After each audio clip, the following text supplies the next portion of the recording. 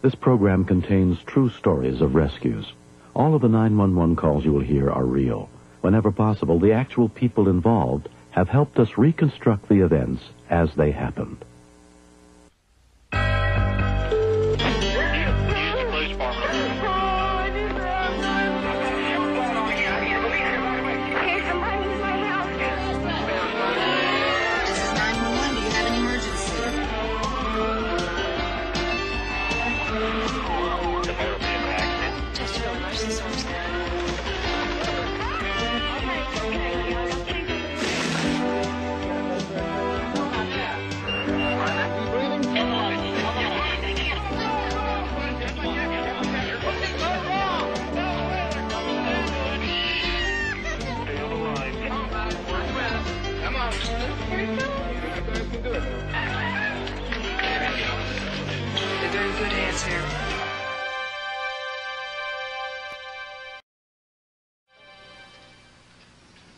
When living out our dreams to the fullest, we may find ourselves unexpectedly in situations that test the limits of survival.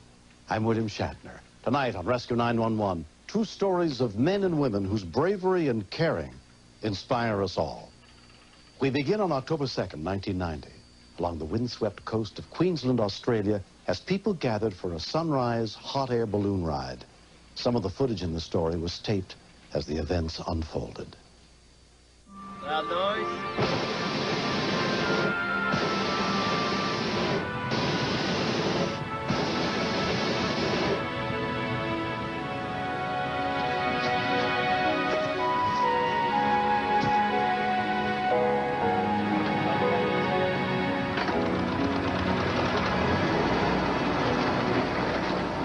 Balloon flight is, is a once-in-a-lifetime experience.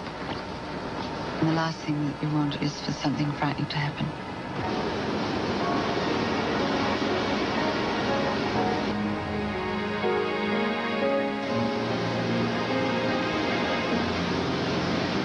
It was the first time the two scheduled passengers, Alex Steele and Judith Goodwin, had ever been in a balloon. Alex's wife Sylvia wasn't planning to go because she had a fear of heights. Sure you don't want to go? What the hell I'm being of? Roger said, I have taken people up before who have been frightened of heights and they've thoroughly enjoyed it. And I thought, oh, why not? Be daring.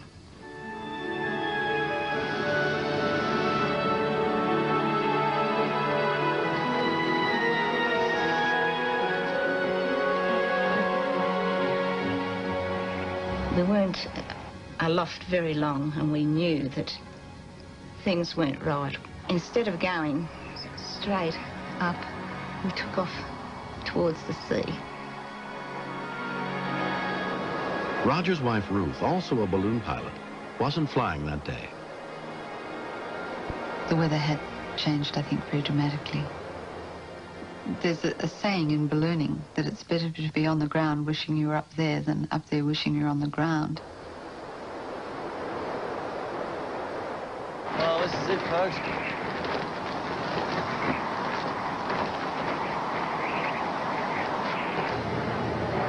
At the Coolangatta airport, air traffic controller Michael O'Neill received a call from Roger asking for a boat because they were being blown out over the ocean. The balloon was in a stiff breeze. It can't stop, it just has to track the wind. They had no life preservers, no nothing for a marine landing, and was moving quite quickly out to sea.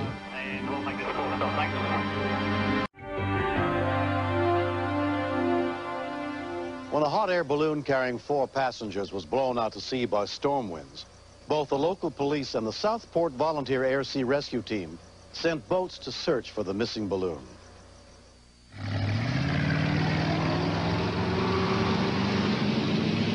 Four people on board. Senior Rescue Coordinator Greg Turner and his partner Russell Stewart were dispatched.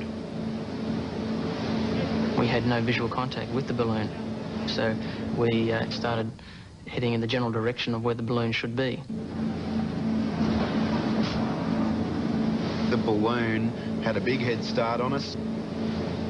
Eventually, it was going to ditch into the ocean, so our response had to be very quick. It was going to be hang on all the way because this was going to be like a, an offshore powerboat race ride out to the job. So two shark cats been... The balloon was at least 10 miles out to sea by then.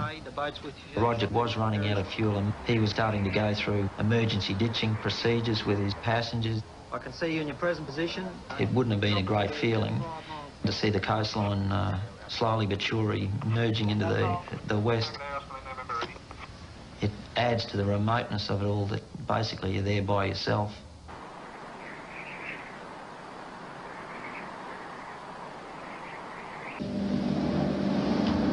Gold Coast Constable Greg St. Clair was also searching for the balloon. Storm out here, Nav. It was hidden from us by storm cells and you just can't see through them. I was worried at that point that we may be too late, the balloon would be in the water. Got to be up in the cloud area, hey? Like... Yeah, definitely, definitely. Greg, keep it going in southeast, mate. Just keep the speed on. Still can't see anything out there. A lot of cloud.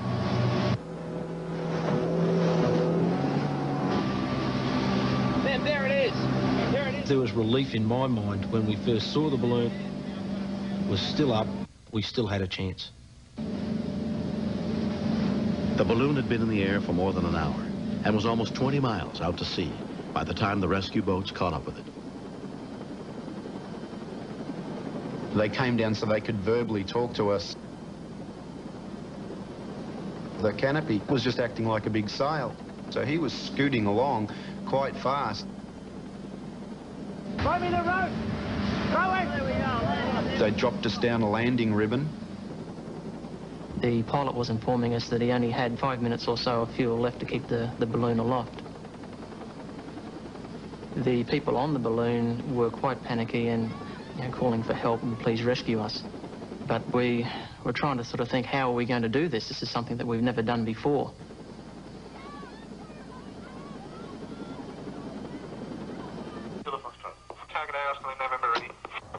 It was obvious from the speed that the balloon was going at that when they struck the water, there, there was going to be problems.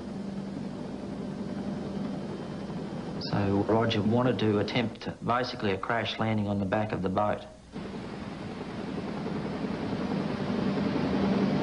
We had to maintain the speed of the balloon. Come on! Fall in the water! Okay, stop keeping the boat okay.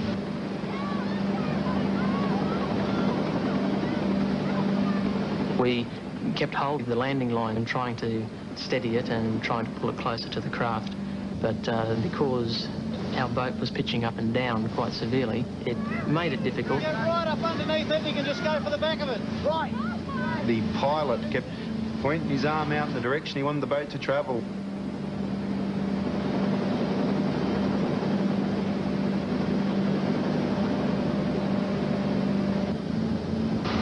He was coming down. It was do or die.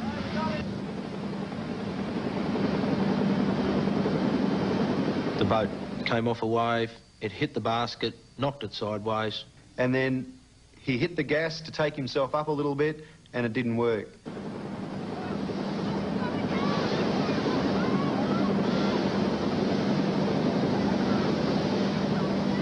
It hit the wave top so hard, everyone fell on each other. It was just sheer terror. You could see it in their faces. The basket scooped up some water and slowed down its momentum. The basket at that stage was still doing around about 18 knots.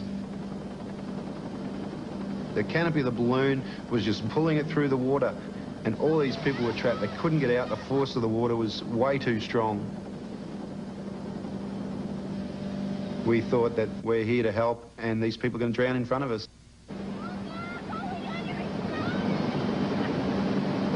I put the boat in as close as I could. We didn't want to crush the people with our boat.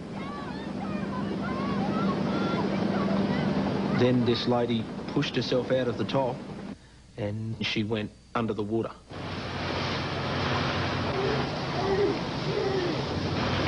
She was being dragged, totally submerged. I knew I had to get her, otherwise she wasn't going to make it.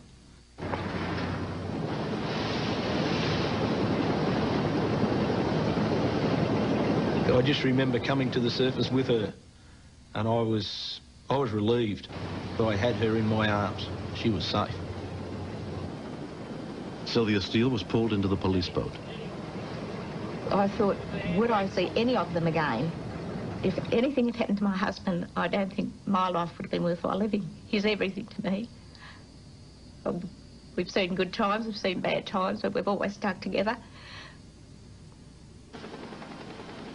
There were still three persons on board. One lady in particular was just staring straight at me and screaming for help. Our biggest fear was the whole show was going to sink with the three people right in front of our eyes.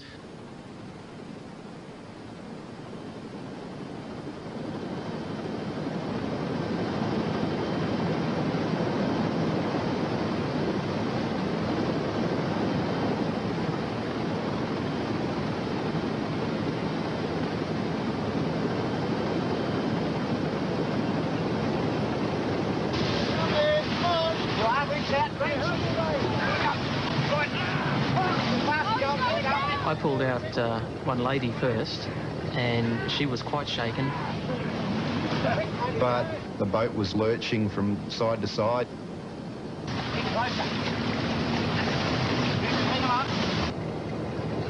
We yelled and screamed and said, come on, you know, you've got to get yourself out. Come on! Come on! One more!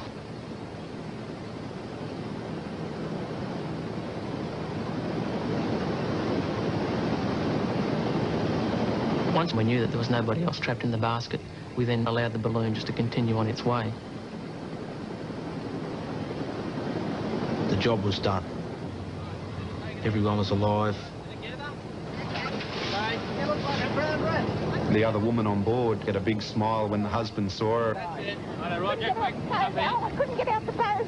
When it comes together and it's a success like that, it makes it all worthwhile for the countless hours that we put in. While Roger the pilot stayed behind to try and salvage his balloon, the others were taken back to shore. Cheers, how you going? Was this your first flight? Yes, first and last. But I mean, it's all right. Sylvia, who'd been dragged behind the balloon, escaped with a scraped foot. Her husband, Alec, was treated for a shoulder injury. Judith was physically unharmed, but very shaken. I, saw the other lady go under the water and not come up, but, uh, you know, and then I was so frightened that I'd crash my head. It was my daughter's birthday today, and I thought, you know, what if I die on her birthday? She'll, she'll remember it for the rest of her life.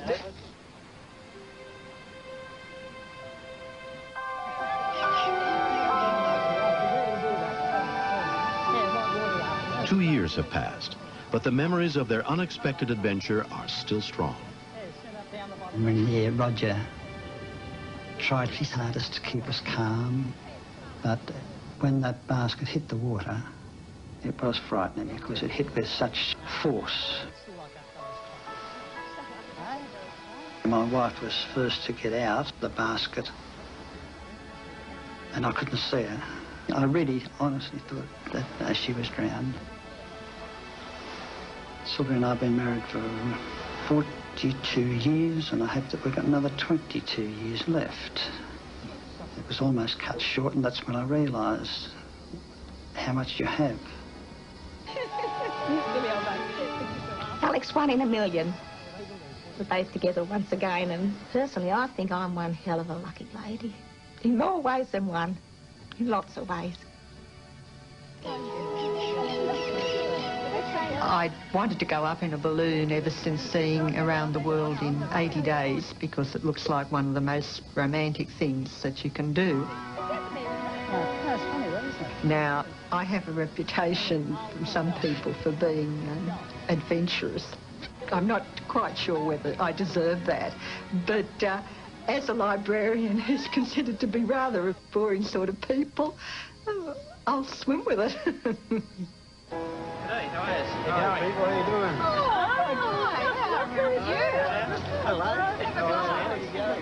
I can't say enough for the rescuers. They were fabulous. Good to see you here. They're a mighty fine bunch of guys, and I'd just like to say thanks a million, fellas. I don't think any of us would have been alive today without them. Here's the soft winds, gentle landings, and cheating death one more time. you to that? All right.